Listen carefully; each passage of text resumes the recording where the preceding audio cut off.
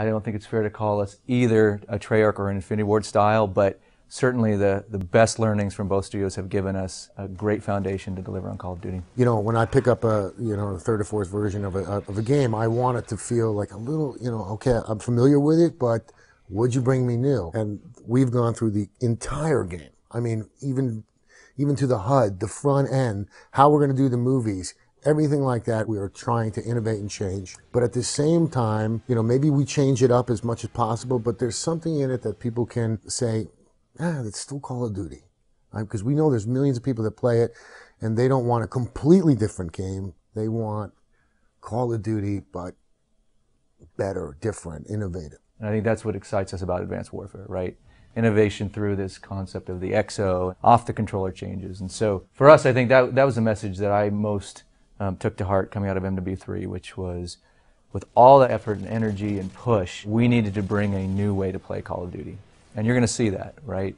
We've brought verticality and strength and exo, exo abilities yeah. in ways that this is Call of Duty from the spirit of everything you loved about it, but it is a different Call of Duty, and we think that's going to be pretty fun for the fans. We talk about the big moments. We talk about pacing an awful lot. To me, this is the this is the summer blockbuster. This is the big guy, right? And people are waiting for it. We want them to go, "Oh my gosh, I can't believe you did that in a game." We've kind of joked about what's the next thing we can do. We just took down the Golden Gate Bridge on an aircraft carrier, and we're like, "Well, we could blow up the moon."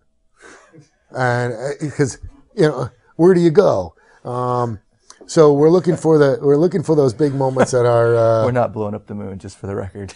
I was thinking blowing up the moon would be great because think of the tides and all the changes that would happen. So yeah, I mean, it's not it's not just about the big moments right now. It's about those emotional moments, and they can still be big and bold. But it's to me right now, this point in our career, and I think in video games with the the new consoles and the amount of fidelity you can get with the characters, it's about emotional uh, connections. Narrative is, is extremely important to us. Not that it isn't to the others, but uh, we, we pay an awful lot of attention to that. It's it's just something that uh, as a gamer that I want I want to have when I'm playing a game, and um, I just feel that video games is the next medium to be talking about a story. I mean, we need to be doing tell, telling a story. You guys have been in the industry for so long. Don't you feel like you've been saying that for 20 years now?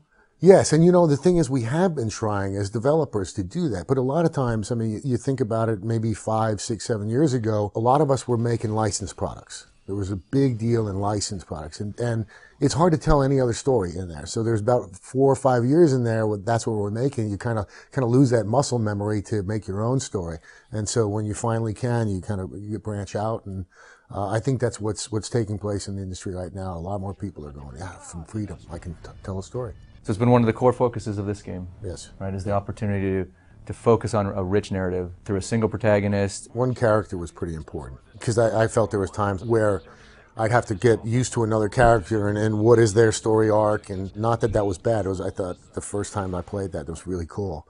But in, in this case, we're like, it's, it's about the narrative and it's about this guy's journey, right? It's not just a military story. I mean, this is, this is about family and camaraderie and pain and loss. And so we were needed to tell those. And I think the best way was through that one character, which is a, a change for uh, Call of Duty as well. Can you describe who Mitchell is? I don't think we've really touched on that yet.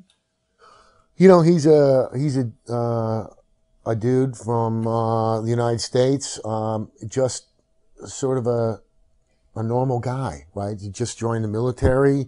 Um, we do have a whole big backstory on him, and I mean it's it's fairly generic in terms of that's what that's what we wanted. We wanted a guy who started off as anybody. You know, he has friends that are maybe taken away from him, things like that. But he starts out as a normal guy, and we see him grow over the course of six, eight years. Are you guys also going to pack a lot of the story and kind of context for what's happening in the loading sequences with like the motion graphics? Are you taking that same approach? We're taking uh, quite a few approaches.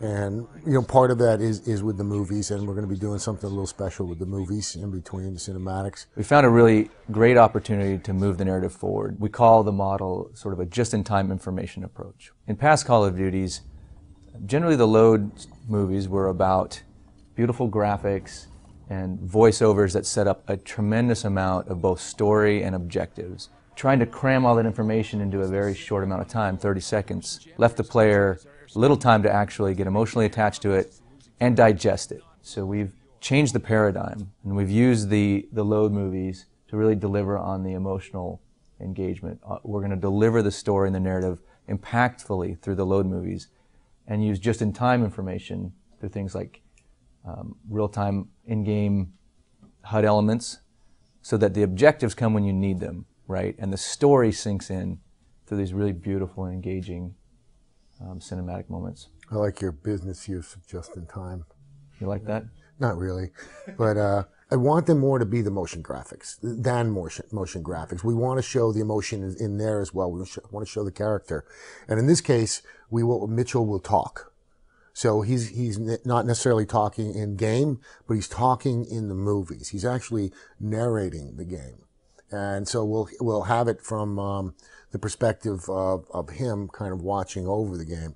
And so you are going to hear his voice, but not in, in game. It's, it's interesting. And then the cinematics, again, we're spending a lot of time on that because we've got the, uh, uh, the facial animation stuff. It's spending so much time on, on that. And in all fairness, I think Ghosts, their cinematics were some of the most technically beautiful cinematics yeah. I've ever mm-hmm, seen mm-hmm. in any game, right? They were beautiful, but there was so much information laid across the top of it that the narrative didn't have time to sink in. At least that was my experience.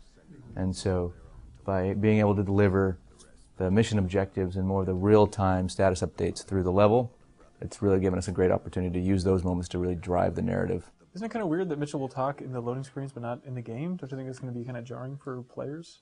At first, you know, we've, we've talked an awful lot about it, right? And and it just feels like that once we're in game, uh, I want want you to feel like you're Mitchell. And if all of a sudden I've got this other voice coming out, um, it's not, you know, I don't know, it doesn't feel like like me. You know, in Dead Space we took it completely away from you. And then there were times that it felt like the character was uh, it was just being, hey, don't forget to go left, go right. He had no voice. So in this case, we're going to give him a voice, and it's a pretty strong voice. But in the game, we want it to be your voice. You know, you know the difference that I found uh, that I think is happening with this generation of games. Before, we were always searching for ways to immerse you in the game, right? Because the graphics weren't always that great, and and um, we're trying to make you get in the game. Nowadays, I believe that you are immersed in the game, and I don't want anything to take you out, like a glitch in the animation or a bad texture or possibly your character talking. Like I, I believe that we have you immersed. It's our job to keep you there, and that's one of the things I think will pull you out. You think the word follow on the screen takes players out of a game? You may not see that. Is there no follow in this game? We're working on ways to make that feel uh, like it's part of your HUD. In 50 years, I mean, the GPS systems are going to be amazing. It doesn't have to be a follow die, is what I'm saying. It will feel much more immersive. Yeah, I mean, our goal was to not take the control away from the player ever. You know, as Glen spoke to this concept of never wanting to break the immersion of that story mode experience. So it's important for us that as much as possible, as a player, you're in control and that includes the ability to look around and engage in, at all times. Yeah, don't put the burden on. We'll never do it. But, no, I say that was the goal. Yeah, yeah. If you break your goal, it's on you. Yeah, yeah. Thank you. Um, yeah, you know the, the the truth is, there's been here, uh, here and there have been places where we have done that sort of in our prototypes right now, in which we're going back and we're going, come on, Let's go. Let's not fall in love with our animations. We're gonna we're gonna make sure that the player is doing most of that. Uh, as Michael said, that is a goal, and we keep going through and finding new ways to give the uh, control back. It's, it's pretty interesting. I mean, the things you have to do to do that. If I feel like mm, nothing's gonna happen to me, let's see what the game decides to do. Then I, I'm not sure there's an emotional connection. I mean, obviously, we can talk about the production values we want people to remember. But I think for the experience, we want people to say, hey, this is the most innovative gameplay I've played in Call of Duty. And it's a rich narrative. Like this story and these characters mattered to me. Bridge too far, but I would say our goals as, as entertainers is to deliver like a red wedding scene through interactive entertainment, right? And have people talk about Call of Duty on that sort of level one day. Oh, wow, very deep. Okay. I, I want, you know what? I uh, I want people to go, crap, it's over. You know, I, I, I mean, well, you said the deep part. I'm going to say the Jersey part. I mean, we're giving them the opportunity with, with some of the uh, um, exo abilities and to play the game over again. Um, and, uh, you know, yeah, I want them to walk away and just say, I, wow, I finally, there was a great story in, a- in a video game. Like it can be done, right? And, um, and, and that's a big deal. And then I want them to go on and play multiplayer. I mean, it, it really is about the fans and it really is just trying to get as many people, uh, uh, playing it as possible. And, um, if they go back and they just go to their friends, you got to play the new Call of Duty. Um, they listen to us. Then, then we won. I think that's well said. Wow. You don't hear that very often from me. Not at all. First time.